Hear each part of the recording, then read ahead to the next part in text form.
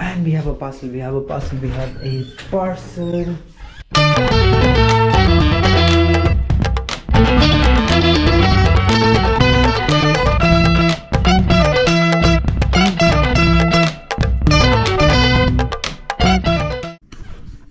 Very excited for this. Lights, what's wrong with you? He's been asking for a blender for a very very long time and today we finally were able to pick up the Shark Ninja.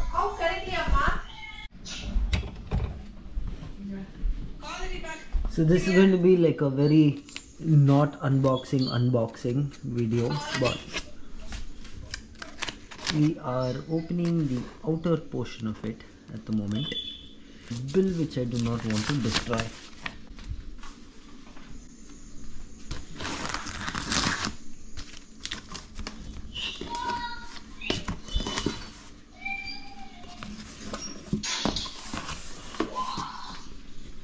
So this I think is like the perfect example for manifestation becoming a reality. You manifest in something and then you wait for it, wait for it, wait for it, and then it becomes reality. The blender.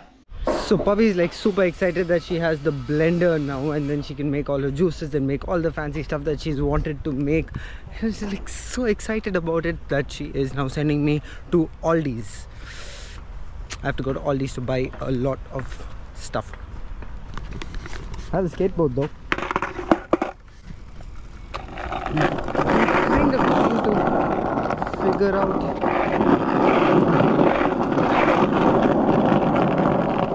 I'm trying to use the concept where the best way to actually learn something is to just keep doing it over and over again. And yeah, get it there now.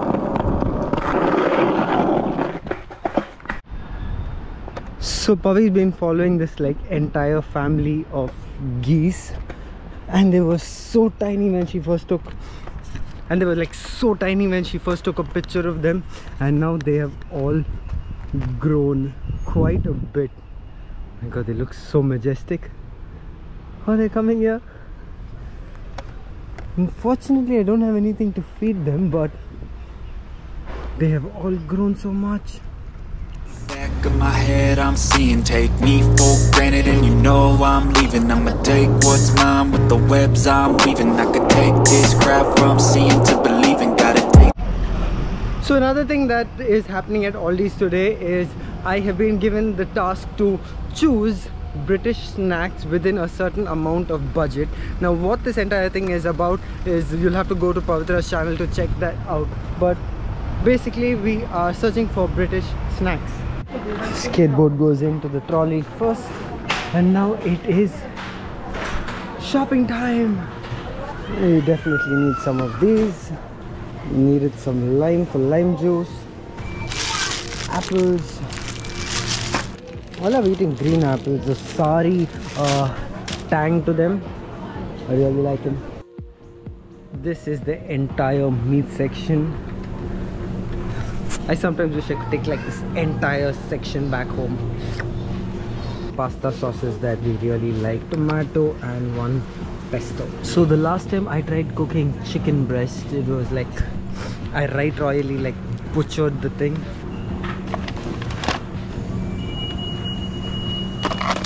So this is like one entire section just filled with snacks this is an entire section filled with biscuits and cookies and wafers. Let me see if i can find something interesting. So we have two selected and let's see how much more we can get.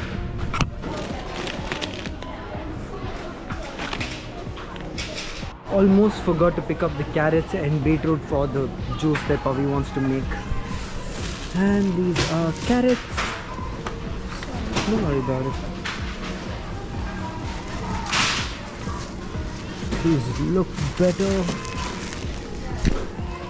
A pound and 40 for like five tiny little beetroots that's ridiculously expensive.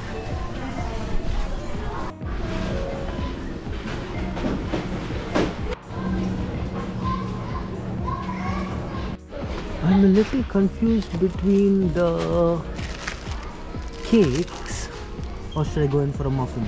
So after about 30 minutes of shopping over here at the Aldi's, I am finally done. Headed to the cashier to get them all billed.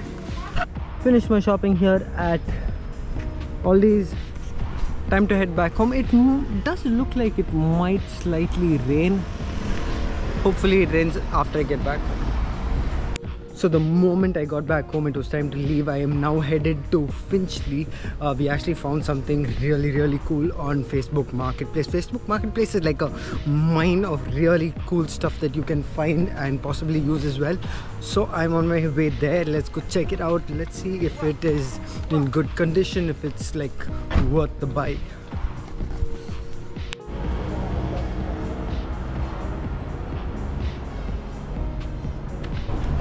So I used to come to the station like all the time like every single day. And the coolest thing about this station is that when you turn the corner you will find a bookshelf over there. And I think these are available at quite a few stations. But there's almost always something very interesting to read. Check this book out. Looks like one of those the collector's item books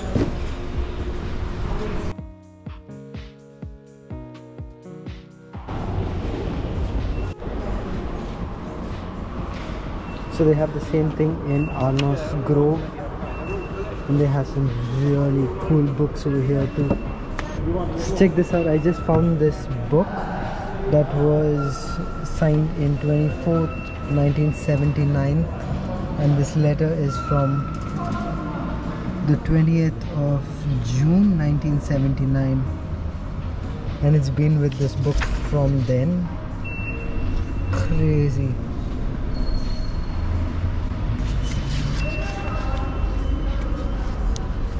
The churches and abbeys of Ireland.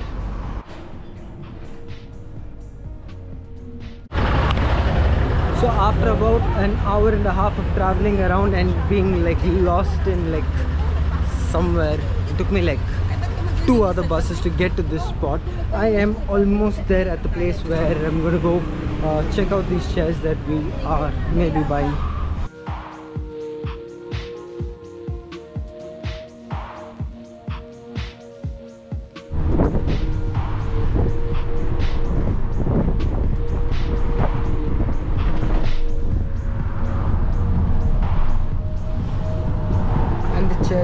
their journey back home.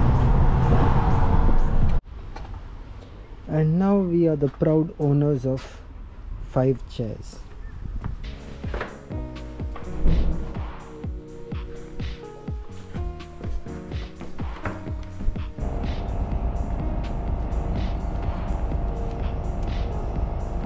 So today is one of those days where the weather is just absolutely amazing what a beautiful run i only ran about 2.2 miles but i felt a lot stronger felt fitter I felt a lot more relaxed. Now, something very crazy happened today in the morning. I woke up pretty late because I was editing late into the night, and uh, for some reason, I just felt very weird and very like very awkward and like something that was annoying me and it took me quite some time to get like a grasp of what the situation was or why I was feeling the way I was feeling why exactly I did feel that way was for simple fact that I did not wake up early in the morning and go for a run. That was annoying me. I have now gotten to a stage where I think uh, running has become very very important or uh, become a physical activity basically has become an important uh, factor in my day-to-day -day life.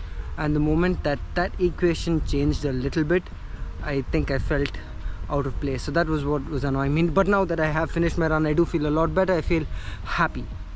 And i'm on that note i'm going to end this vlog over here. I will see you guys in the next one. Hope you did like it.